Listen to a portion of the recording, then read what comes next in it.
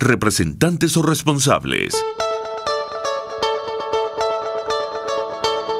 A partir de este momento, estamos contigo, contigo unidos, contigo y tus problemas. RCR presenta Contigo, Andrés Velázquez. Muy buenas tardes a todos nuestros queridos oyentes de su RCR 750, la radio que se ve. Estamos en una nueva emisión de su programa Contigo, correspondiente a hoy miércoles 8, día de la Inmaculada Concepción. Y, como siempre, nuestro fraternal abrazo y a todos nuestros seguidores miércoles a miércoles que están en este su programa Contigo, Andrés Velázquez. igualmente, queremos agradecer, como siempre, a Jaime Nestares en la dirección general de la estación, a Gulizar Calle, la gerencia general de producción, a Yair Pacheco en la producción del programa y a nuestro buen amigo José Gregorio González con la magia de los controles. Esta tarde vamos a tener dos invitados para dedicar ya como resumen eh, de finales de año la, la situación en cuanto a lucha social se ha venido dando en el país. Pero previamente yo quiero, como siempre, hacer en nuestros comentarios el eh, hablar, porque sigue dando que hablar, el 21, el, fraude del 21 de noviembre. Sobre todo por la situación de que se está dando en la población de Barina, en el estado de Barina. El, como hemos visto, el desastre, y al de cuentas, esto no está separado del fraude del 21 de noviembre, y a nadie debe sorprender. Allí ocurrió lo que iba a pasar en medio de un evento de votación que al fin de cuentas no permite eh, elegir. Y es que pareciera ser que continuamos sin darnos cuenta que estamos en dictadura. Y yo quiero reafirmar eso hoy. Estamos en dictadura. Pero eso sí, no se trata de una dictadura convencional, como la que durante décadas hemos padecido en América Latina. Es un régimen totalitario que se sostiene en una estructura criminal, que coopta a quien haga falta, que busca y construye una oposición a su medida, comprando, sobornando, corrompiendo, que impone narrativas y símbolos que son, por supuesto, compartidos por esa oposición corrompida que cohabita con el régimen.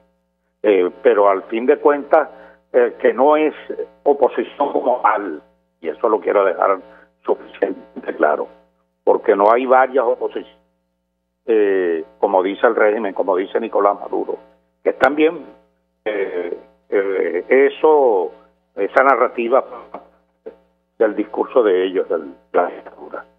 Aquí o se es demócrata o no no se puede ser medio demócrata o medio opositor o aceptar una medio negociación, un medio soborno.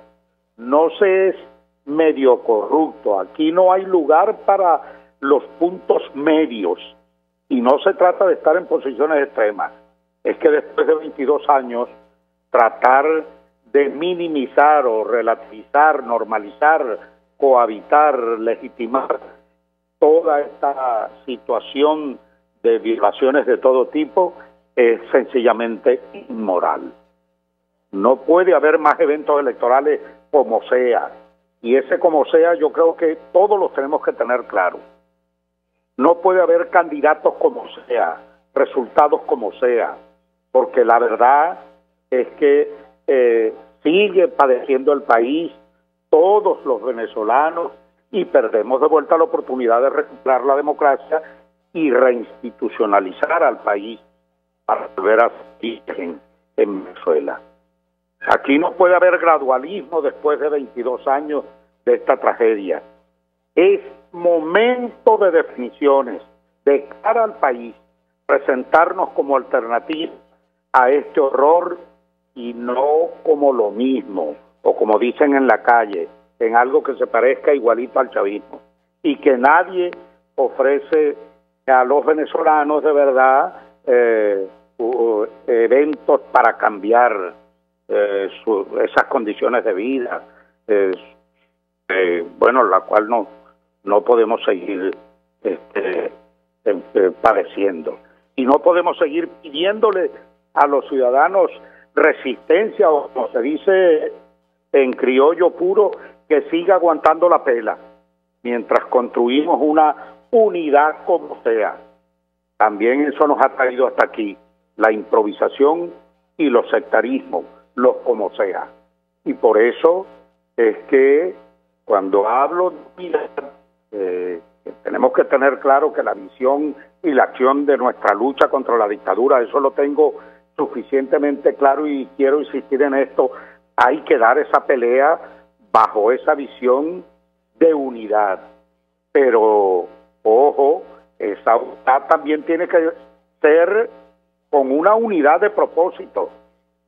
Y eso nos convoca a todos los demócratas, porque el propósito que nos aglutina y conecta con los ciudadanos es desalojar al régimen del poder que hoy están usurpando. Y por eso es que esa visión unitaria no puede ser como sea. Allí tiene que haber eh, límites éticos. Allí no puede no puede ser, insisto, el como sea.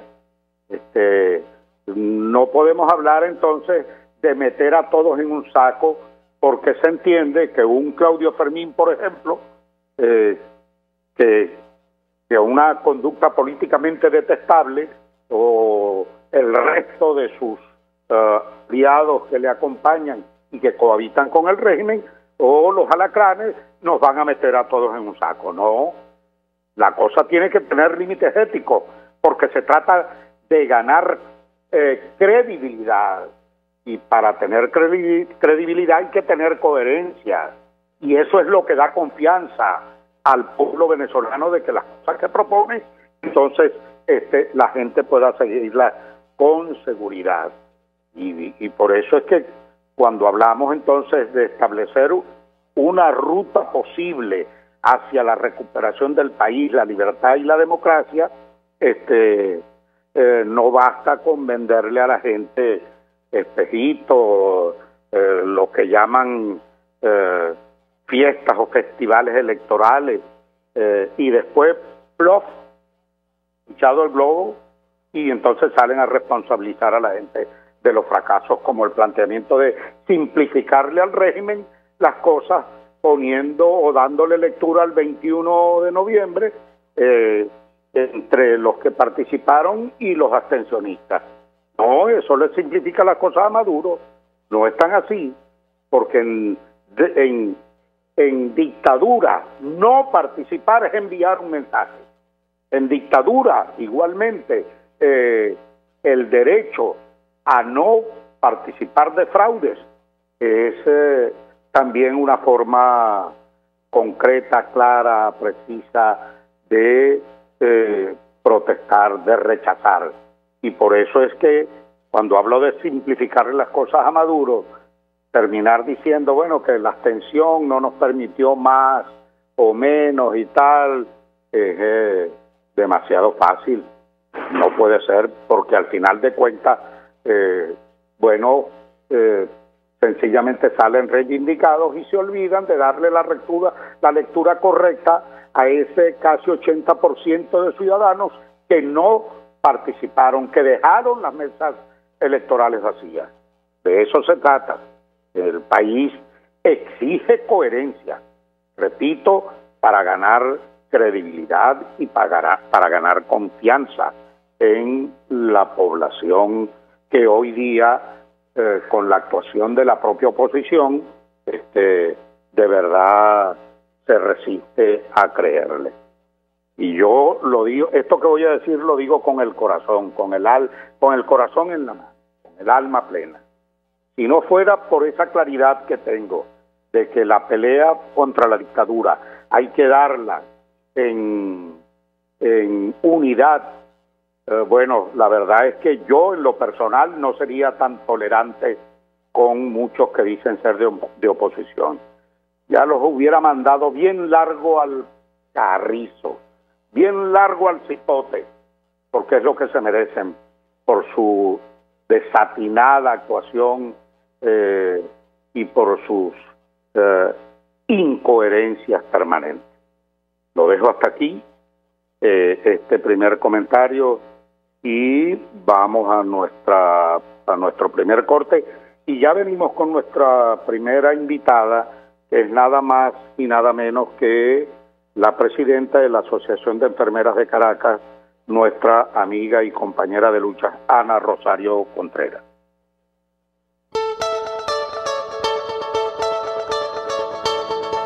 Les estamos presentando Contigo, el espacio donde tú y tus dirigentes se escuchan, solo por RCR 750.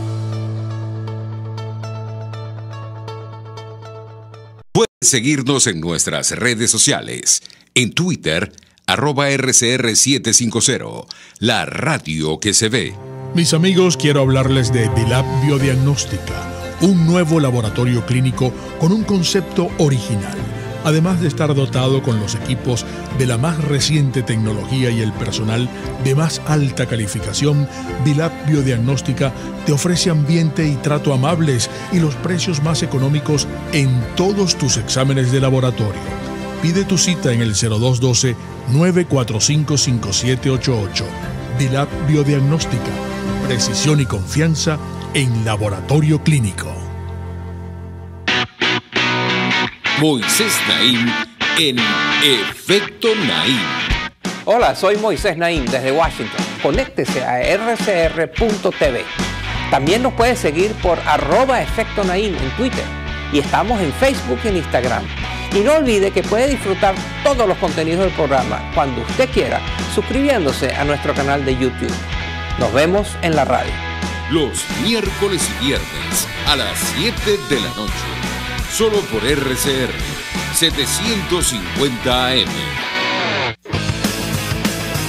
Un espacio que analiza y debate la coyuntura política, económica y social de nuestro país. Acompañe cada mañana a la periodista María Alejandra Trujillo en Palabras más, palabras más, palabras menos. Palabras más, palabras menos. Informe entrevistas, análisis y discusiones sobre los temas de actualidad. Es lo que más te puedo dar, es lo de siempre. Palabras más, palabras menos. De lunes a viernes, de 7 a 8 de la mañana, por RCR 750 AM.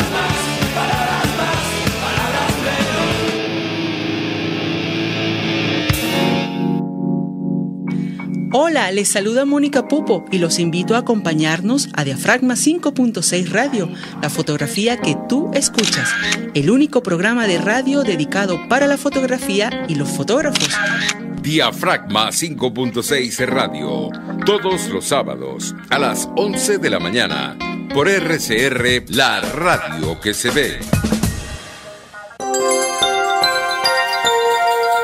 Es una interpretación de tendencias para tu signo zodiacal, un espacio guiado por los movimientos planetarios y sus consecuencias. Acompaña a nuestros astrólogos a descubrir lo que le deparan los astros signo por signo. Guía astrológica, todos los sábados, a partir de las 3 de la tarde, por RCR 750 AM. RCR 750 AM, porque lo bueno une.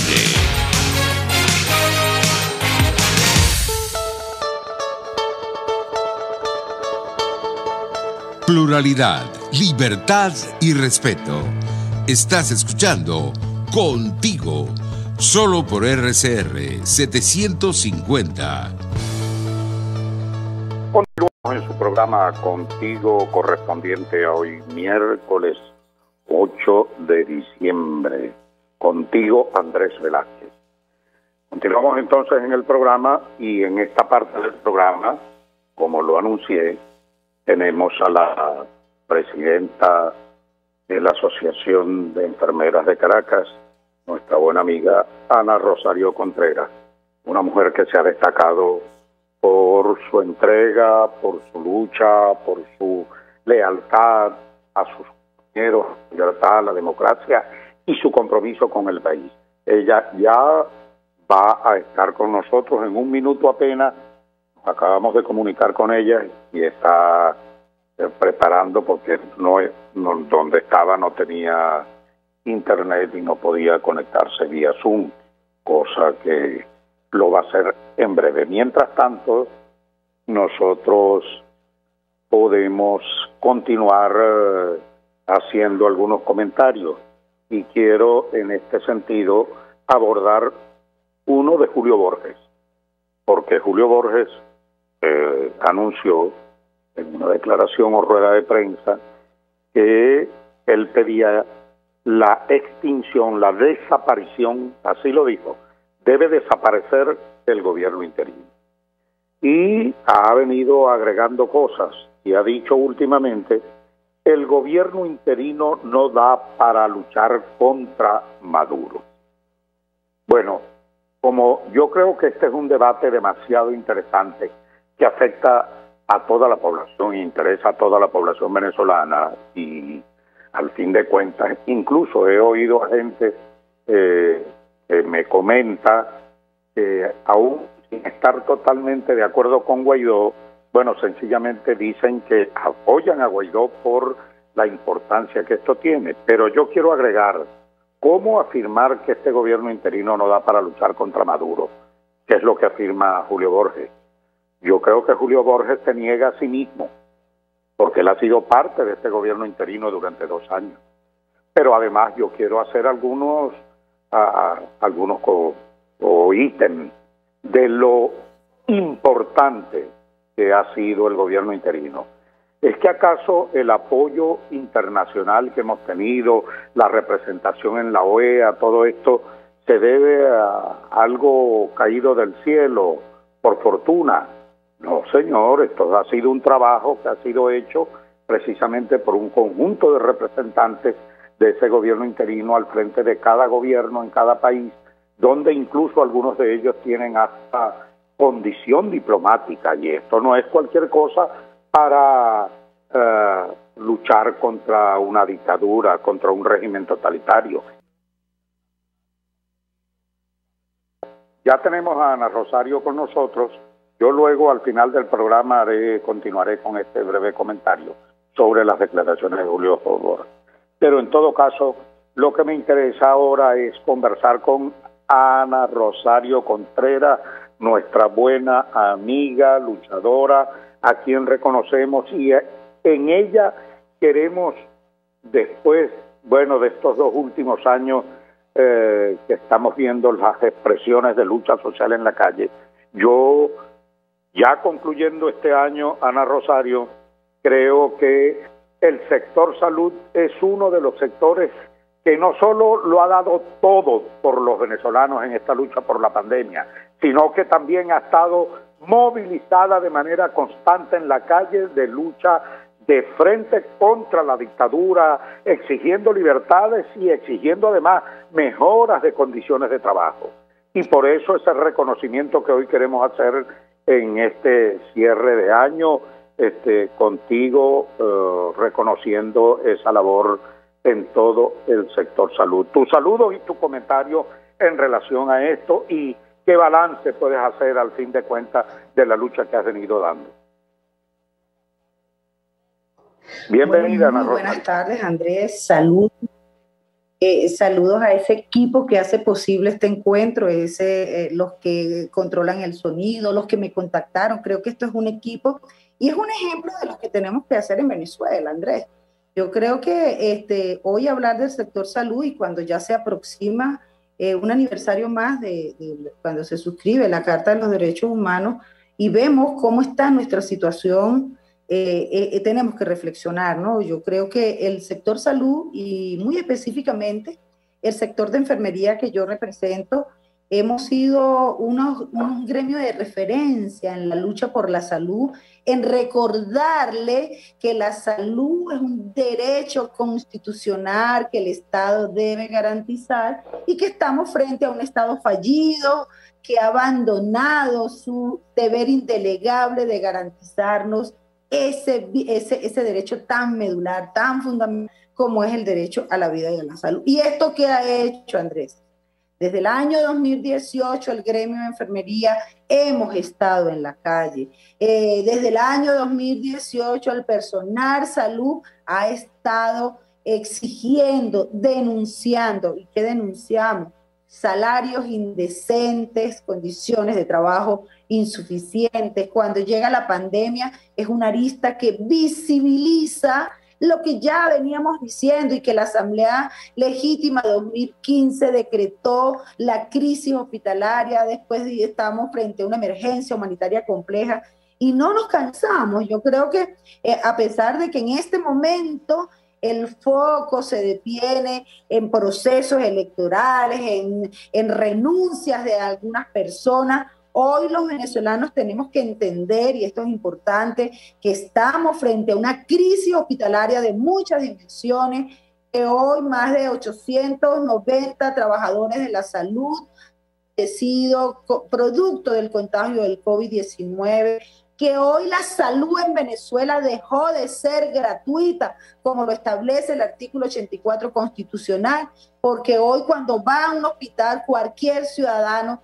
tiene que llevar todos los insumos, porque el Estado no cumple en dotar nuestros hospitales de los insumos, de los equipos. Hoy más del 80% de nuestros hospitales no tiene servicio de agua. Hoy vemos como más del 65% del personal de enfermería se ha ido de los hospitales y vemos que no hay quien cuide. Lo propio ha hecho el gremio médico, lo propio ha hecho eh, el gremio de bioanalistas, de técnicos radiólogos. Hoy no tenemos quien limpie nuestras unidades, no tenemos ambulancia en nuestros hospitales. Este es el año 2021 que está próximo a cerrar y que se ha caracterizado por la desidia, la ineficacia, eh, la negligencia de los operadores de salud, de los responsables que tienen que garantizarle a la población que hoy no tiene cómo acudir al sector privado y nos están negando el derecho más medular, repito, que es el derecho a la salud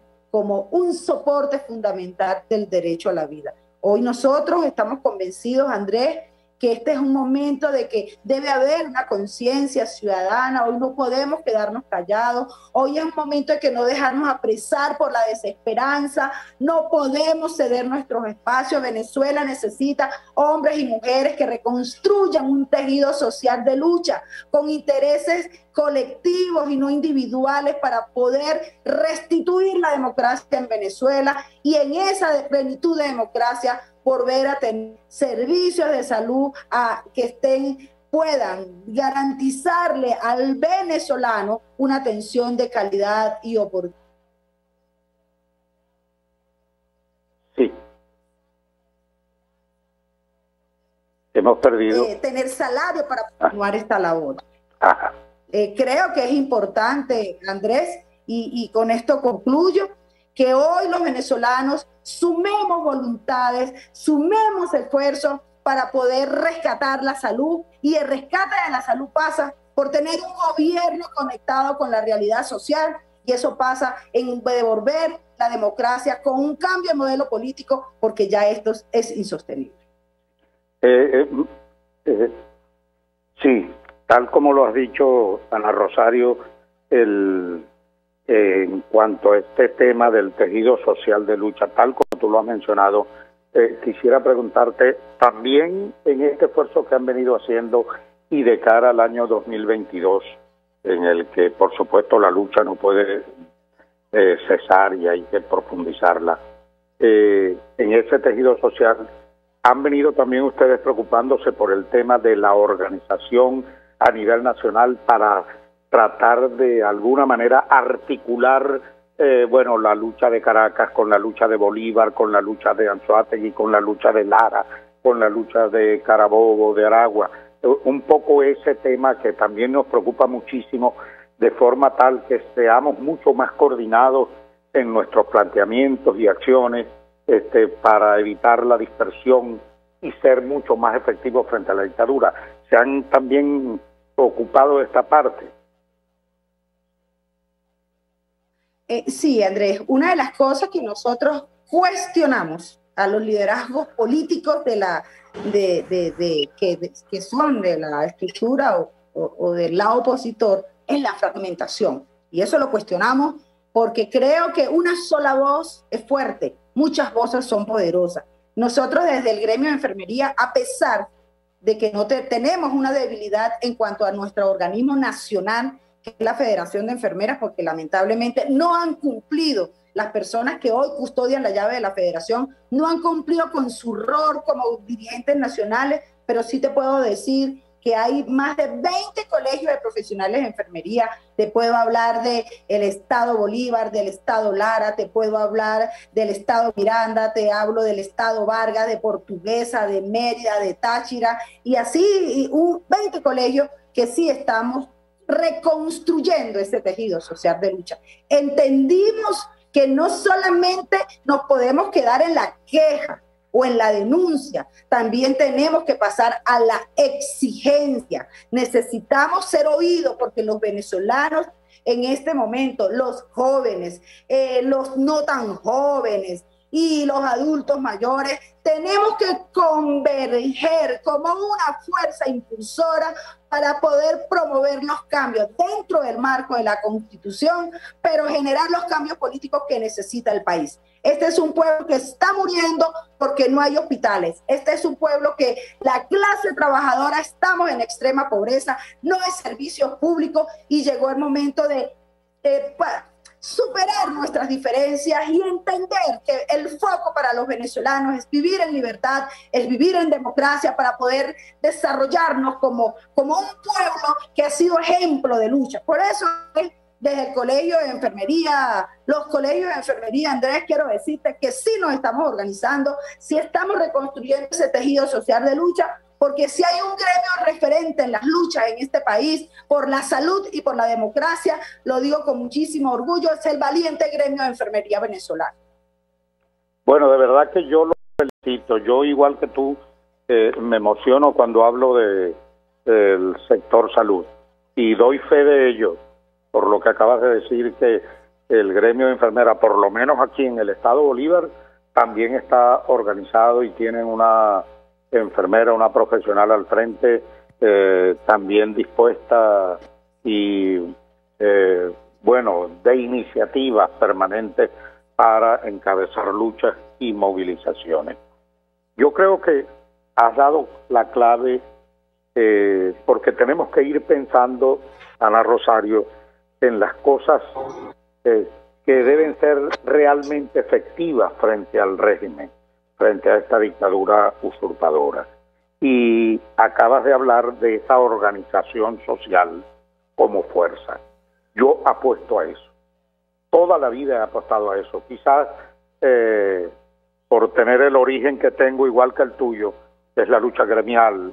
Como tú sabes, bueno, yo vengo de, de las luchas sindicales de la siderúrgica del Orinoco, como encabezando a ese poderoso sindicato cuando lo era, pues pero no ahora que es un despojo apenas con las intervenciones sindicales y el control que hace el régimen de eso y los que se prestan para ello.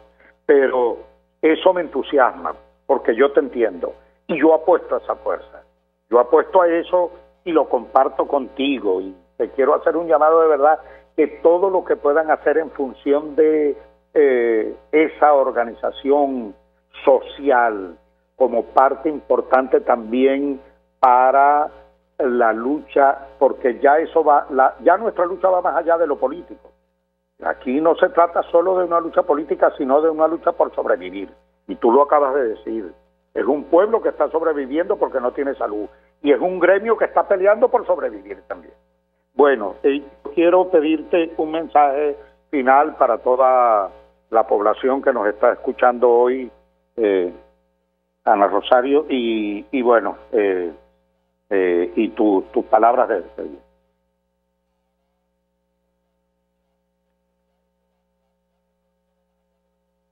Adelante. Ana Rosario. Ah, sí. Ya, ya, lo, ya estaba en mute, perdón. Eh, yo creo que, bueno, Andrés, primero agradecerte eh, por este espacio. Eh, sé que somos hermanos de lucha, hermanos de clase. Creo que este es un momento de que el músculo fuerte de la clase trabajadora tiene que unirse. Creo que nosotros en este momento estamos llamados a solicitar no solamente las reivindicaciones salariales, que con este régimen no lo vamos a lograr. Este es un momento de la clase trabajadora que tenemos que sumar esfuerzo, que tenemos que enfocarnos y no dejarnos aprisionar por la desesperanza. Hoy es el momento de la lucha y hoy los trabajadores venezolanos hemos sido aguerridos y por eso es una convocatoria a los hermanos de clase y de lucha yo creo que este es un momento de que levantemos la victoria, las banderas de victoria y avancemos a la, a la reconquista de la libertad. Y eso es un llamado que tiene que hacerse a cada uno de los venezolanos que estamos en el país y que decidimos no abandonar Venezuela. Venezuela necesita hombres y mujeres empoderadas, hombres y mujeres conscientes de que para arrebatar al régimen que hoy oprime a este pueblo, que hoy nos viola derechos políticos, derechos sociales, derechos civiles, necesitamos un pueblo empoderado. Porque si los de abajo nos movemos, los de arriba tienen que caer. Muchísimas gracias, Andrés. Vale, gracias. Qué bueno, Ana Rosario. Bueno, acabamos de oír a Ana Rosario Contreras, eh, presidenta de la Asociación de Enfermeras de Caracas, agradecemos que nos haya atendido. Ella, bueno, recojo y con esto, habló de un Estado fallido relacionado con los derechos constitucionales que no se cumplen.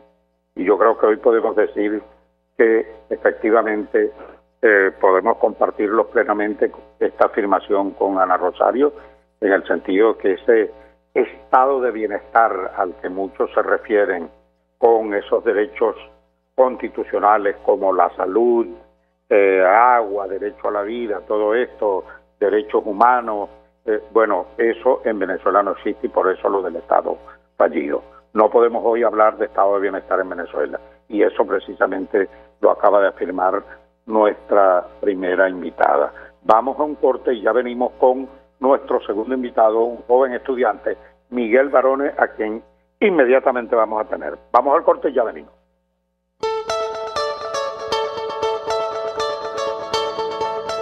Les estamos presentando Contigo, porque nos preocupan las mismas cosas. Solo por RCR 750.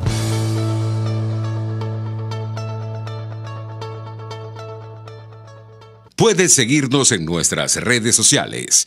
En Twitter, arroba RCR750, la radio que se ve. Moisés Naim en Efecto Naim. Hola, soy Moisés Naim desde Washington. Conéctese a rcr.tv. También nos puede seguir por arroba Efecto Naim en Twitter. Y estamos en Facebook y en Instagram.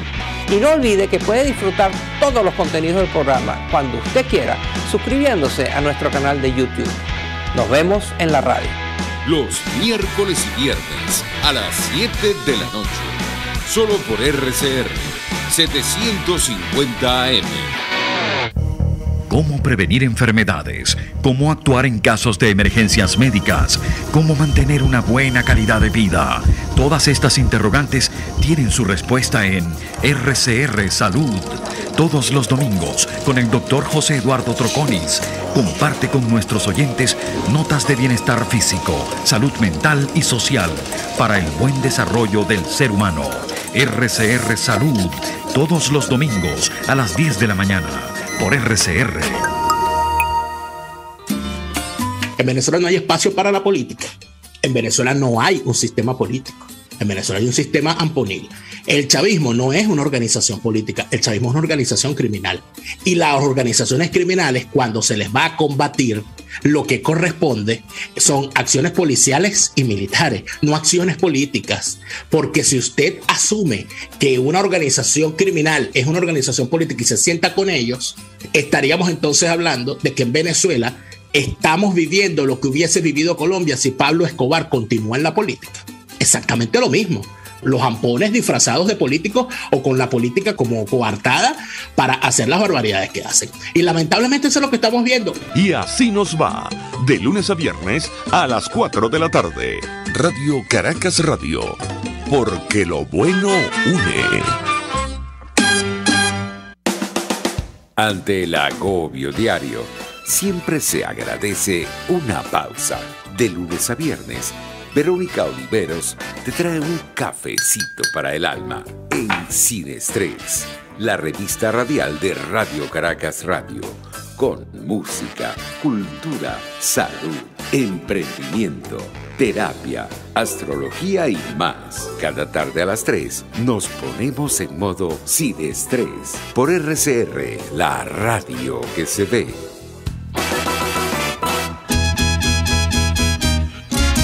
Una ventana para las propuestas y denuncias de las comunidades populares de Venezuela. Evelyn Martínez y la red de ciudadanos llegan debatiendo problemas y promoviendo soluciones. Es el radar de los barrios. Por la autonomía de los movimientos sociales que no pueden ser complementos de partidos o gobiernos. El radar de los barrios. De lunes a viernes, a partir de las 10 de la mañana por RCR 750 AM. RCR 750 AM. Porque lo bueno une.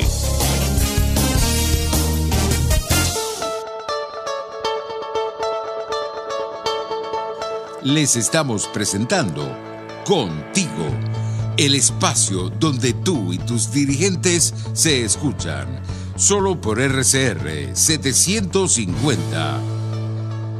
Seguimos el programa contigo, Andrés Velázquez, ya en la parte final del programa.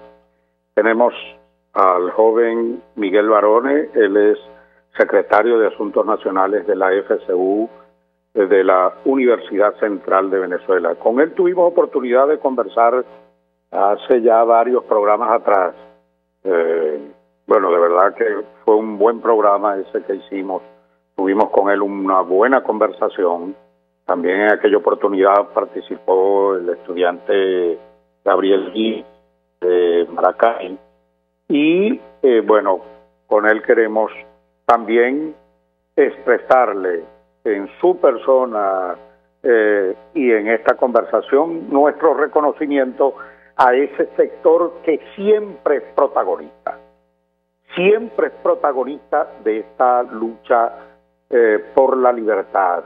En fin de cuentas, los jóvenes y sobre todo los estudiantes en todas partes del mundo, donde hay movimientos sociales de liberación, de libertad, por la democracia, siempre hay una expresión de los jóvenes eh, fundamental, determinante y por eso he querido que hoy en este programa también y cerrando diciembre eh, eh, conversemos con Miguel Barone. Miguel, eh, háblanos balance de año de lucha, cómo ha avanzado la organización de los estudiantes, el, la agresión del régimen que aparte de el tema de dictadura en general bueno, se ha convertido también en enemigo de la universidad y que ustedes han venido, han tenido que dar una batalla dura en condiciones eh, duras, también muy adversas, pero que al, al fin de, eh, de cuentas siempre están presentes allí.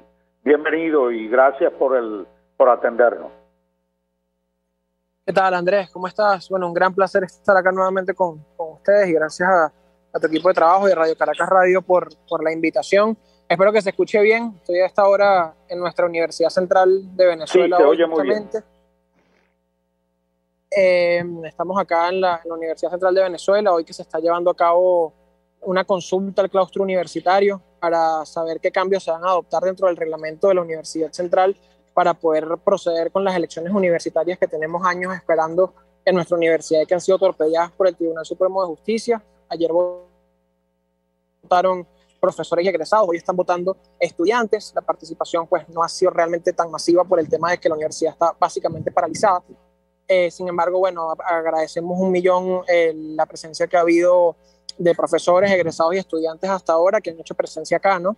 Y eso marca un poco lo que ha sido este año 2021 para las universidades, un año en el que pasamos la gran parte del tiempo completamente cerradas, que han sido objeto de, vandalismo, de robos, además de pues años de déficit presupuestario que han ido acabando con la infraestructura de las universidades y han dejado claro, eh, no solamente con las universidades, sino con todo el sistema educativo en general, una realidad muy clara y es que los lugares donde se crea pensamiento crítico, donde se genera conocimiento, son enemigos de regímenes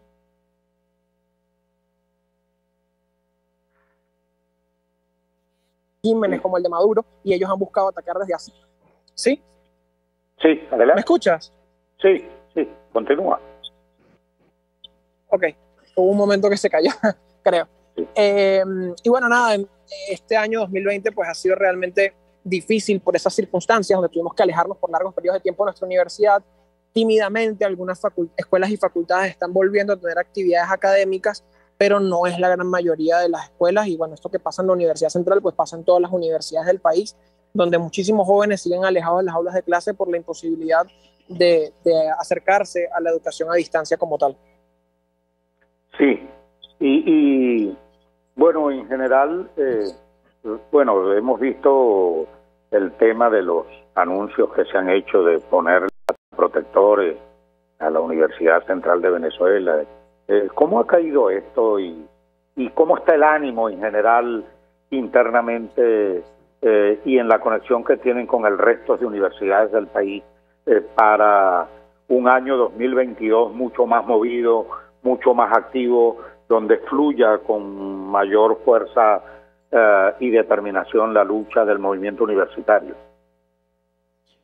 Bueno, Andrés, obviamente lo que, lo que nos cayó la noticia por sorpresa era algo que también, o sea, nos cayó la, por sorpresa el nombramiento de una, de una protectora, pero nosotros sabíamos que por ahí venía algún movimiento con el tema de las reparaciones que se están haciendo en la UCB, lo habíamos hablado la última vez que conversamos, nosotros sabemos que el mismo gobierno que destruyó deliberadamente las universidades no iba a tener un genuino gesto de buena voluntad para poder empezar labores de recuperación eh, sinceras dentro de nuestras universidades. Y sabíamos que lo que habían metido ellos acá en la Universidad Central era completamente un caballo de Troya.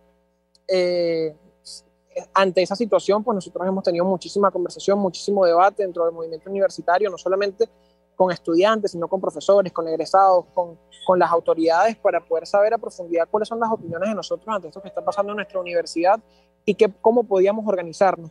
Y pues, como te estaba comentando anteriormente, hoy estamos en medio de esta consulta al claustro universitario, donde hemos visto la participación, aunque no ha sido tan masiva, pues hemos vuelto a ver movimiento de estudiantes, de profesores, de gente en nuestra universidad que nos hace pensar que pronto, cuando podamos tener un escenario en que volvamos a reactivar la universidad, pues el movimiento universitario y el, sector educativo en general lo vamos a encontrar de pie por las luchas que se vienen en el año 2022. Estoy convencido de eso, de verdad que eh, yo que estuve el año pasado, estuve este año, frecuentando la universidad con el resto de los compañeros del movimiento estudiantil y uno veía el estado de desolación tan grande que había en la universidad porque no había ni un alma pasando por nuestros pasillos.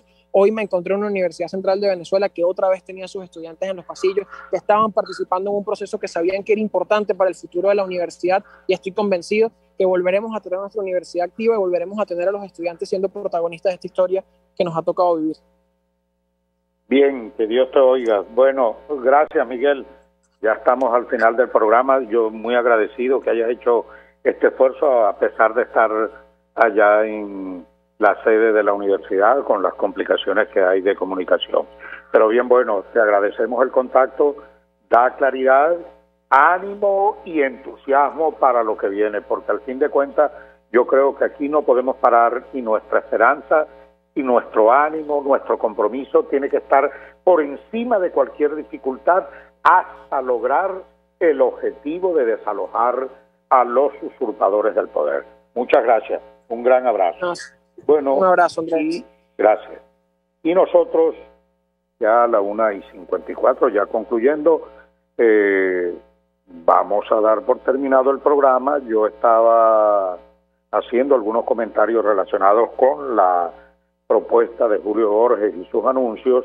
No vamos a tener más tiempo para ello, para desarrollarlo, pero en todo caso sí quiero dejar claro lo que he venido señalando en mis redes, eh, que estoy en absoluto desacuerdo. Yo en lo personal y por supuesto mi organización en la cual milito la causa R, estamos en desacuerdo con este planteamiento hecho por Julio Borges. Lo dije al comienzo del comentario, eh, es casi como negarse a sí mismo, porque él venía siendo parte de todo esto. Y decía yo que todo lo que hemos avanzado en el reconocimiento internacional eh, es producto de, ese, de esa presencia de una decisión de la Asamblea Legítima, de la cual él formó parte, que fue la, creación de esa, la propuesta de ese gobierno interino, que es hoy por hoy, a lo interno en el país, uno de los más efectivos y consolidados eventos de eh, resistencia real frente al régimen. Ah, que no ha podido deponer como es el objetivo. Bueno, no estamos peleando con Mocho. Estamos peleando con un régimen dictatorial, tiránico, que no se para ante nada, criminal, corrupto, eh, bueno, sin escrúpulos de ningún tipo para avanzar eh, hasta donde le dé la gana, bueno, derrumbando absolutamente todo y llevándose por delante leyes, instituciones, constitución de la República, eh, bueno, eh, en fin, no se para ante nada. Pero eso no significa que nuestra lucha deba parar o que en todo caso, eh, por no haberse logrado ese objetivo que se propuso esa Asamblea Nacional del 2015, bueno, y no se haya logrado, entonces, bueno, hay que tirar la toalla. Vamos a comenzar de cero. No, no, yo no comparto eso. Desandar todo lo andado, eh, retroceder eh, eh, los reconocimientos que a nivel internacional hemos tenido, la protección de los activos de la nación, que por cierto Julio dice que por eventos de corrupción en algunos de ellos hay que, bueno, todo eso tiene correctivos y hay que castigar, denunciar y encarcelar a quien haya incurrido en eso sea quien sea, como suele decirse. Pero de allí a decir borrón y cuenta nueva, le facilita y le simplifica las cosas a Maduro. El que debe estar gozando una pelota en esto es Nicolás Maduro, sinceramente, muerto de la risa, como dice él, comiendo cotufa, este, eh, viendo estos desatinos de la oposición. Bueno, dejemos las cosas hasta aquí por el día de hoy. Los invitamos para la próxima semana. Muy agradecidos a todos, a todo el equipo de Radio Caracas Radio y concluyo también eh, sumándome al dolor y expresando toda mi solidaridad por la muerte o fallecimiento de Robert Botón, Toby, a quien así llamábamos por cariño. Yo doy fe y constancia por las muchas conversaciones que compartí con él en materia de economía y, la situación política del país, de su preocupación por esta patria, por este país, que sigue buscando su rumbo de liberación, de libertad y de democracia. Muy buenas tardes a todos.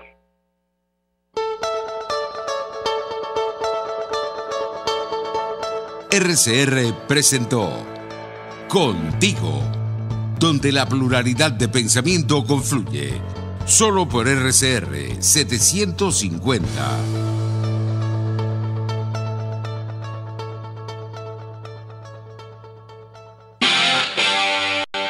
RCR 750 AM. Porque lo bueno une. Sintonícenos a través de Periscope, arroba RCR750, la radio que se ve. Mis amigos, una empresa comprometida y responsable con su personal es una empresa segura y Produzca es la compañía pionera en Venezuela que ofrece la mayor cantidad de equipos de comprobada calidad para garantizar la seguridad integral de toda la nómina industrial de cualquier empresa. El catálogo de Produzca es inmenso, todo tipo de guantes, cascos, accesorios y productos varios de protección para tu personal. Conoce más de Produzca en www.produzca.com. Produzca, seguridad en tu empresa de los pies a la cabeza. Voz de América. Información precisa, completa, veraz, objetiva e independiente. Directo a tu pantalla. De lunes a viernes a las 2 de la tarde por RCR 750. El siguiente espacio educativo está dirigido a niños, niñas y adolescentes.